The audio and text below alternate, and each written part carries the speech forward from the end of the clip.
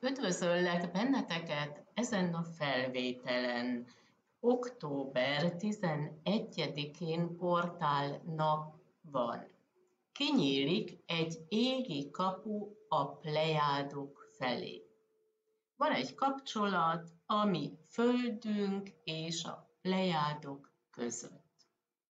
Ez egy finom energiamező, ennek van mindig gyógyító ereje, azon kívül kinyílik egy kapu a spirituális terület felé. Ezen az estén tartok egy szertartást, ami este 11 órakor indul. E-mailen keresztül jelentkezhetsz erre a szertartásra. Az energiai egyensúly az 4000 forint hogy pontosan miről van szó ennél a szertartásnál, ennél a portál napnál, erről beszámolok ebben a videóban. Az, hogy mikor van egy portál nap, azt a maják számították ki. A forrás az a Maja naptár. Erről beszámolok naponta a Facebook oldalamon Dendera Susanna Medici. Ebben a Maja naptárban van 20 hullám vagy rezgés. Egy hullám 13 napig tart. A 13-as szám az misztikus szám volt a majáknál, sőt ők úgy gondolták, hogy a 13-as szám szerencsét is hoz. Egy hullám, ez a 13 nap egy hullámban, ez olyan, mint nálunk a hét. Hét nap egy héten. Ez a portál nap, október 11-e, a 13. nap a negyedik hullámban, és október 12-én indul az ötödik hullám, ami szintén 13 napig tart. De visszatérve október 11-ére. Ez a 13. nap, ami szerencsét hoz. A negyedik hullám az jelenti az alapokat, mivel ez az utolsó nap a negyedik hullámban jelenti azt, hogy most befejezünk valamit. Tehát véget ér valami, vagy elvégeztük a munkánkat, és most kipihenhetjük magunkat, és majd indul egy új kezdet, erre utal majd a következő hullám vagy rezgés.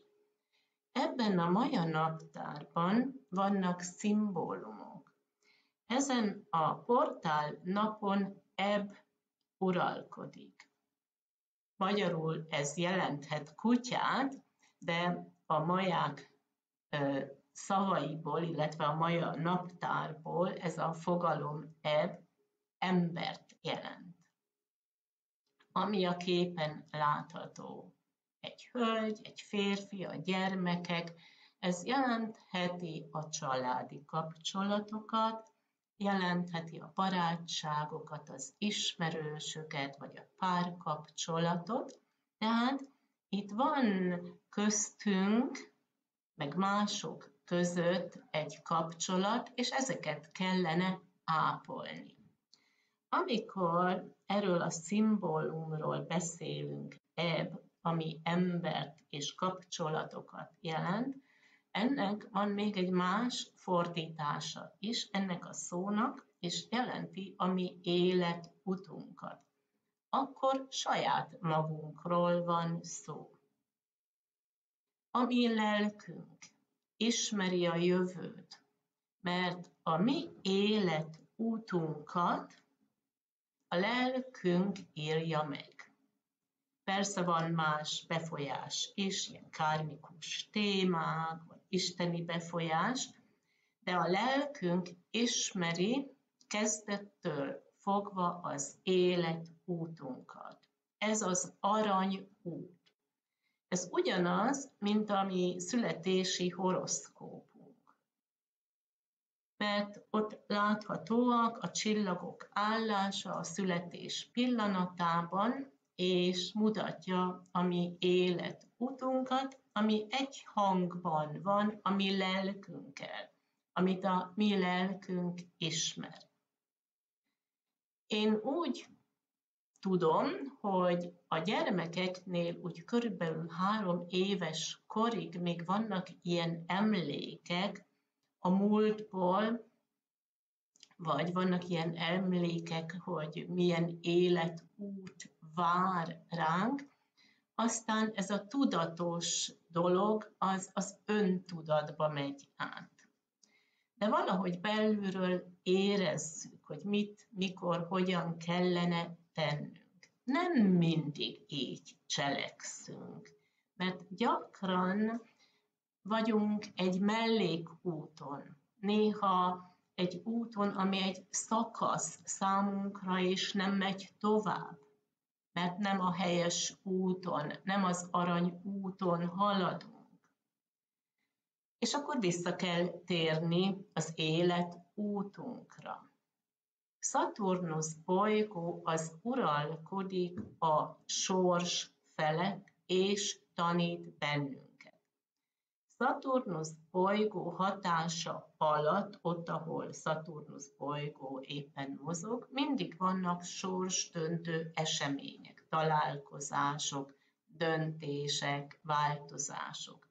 Szaturnusz bolygó tanít bennünket, és segít abban, hogyha eltévedtünk, hogy visszatérjünk az élet útunkra, amit a mi lelkünk kiválasztott, amire szükségünk van, mert ez a helyes út. És ezen a portál napon lehetnek ilyen döntések vagy gondolatok, amikor átgondoljuk azt például, jól érzem magam ezen a munkahelyen? Ez a hivatásom? Vagy én egy rossz helyen vagyok, valamit kellene változtatni, kellene a hivatásomat élni. Mindegy, hogy ki mit gondol erről. Hiszen én saját magam hozom a döntéseket. Vagy például boldog vagyok ezen a helyen, ahol élek? Hát lehet, hogy igen, lehet, hogy nem. Akkor lehet ezen töprengeni, hogy jó lenne-e egy költözés. Persze ez nem mindig könnyű ezt megvalósítani, de legalább jó lenne ezen elgondolkozni. Vagy lehetnek kapcsolatok, barátságok, vagy egy párkapcsolat, ott is elgondolkozni azon, hogy boldog vagyok ebben a kapcsolatban, vagy milyen a baráti kör, vagy milyenek a családi kapcsolatok, mit tudnék annak érdekében tenni, hogy ez javuljon. Tehát itt nem csak a saját életútunkról van szó, hanem egy bizonyos helyről, ahol jól érezzük magunkat, bizonyos kapcsolatokról, ami fontos számunkra. Tehát ezek a témák tulajdonképpen ebben a portál napban, ennél a szertartásnál a gyógyító erő, a spirituális terület, valamit elvégezni, és eltöbb, elgondolkozni, töprengni azon, hogyan tovább, milyen úton kellene haladni, milyen kapcsolatokat kellene ápolni. Amennyiben tetszett a videó, örülnék annak, ha lájkolnád és jelentkeznél a csatornámra, köszönöm szépen. És én kívánok egy szép napot, nagyon sok szeretettel, Dendera!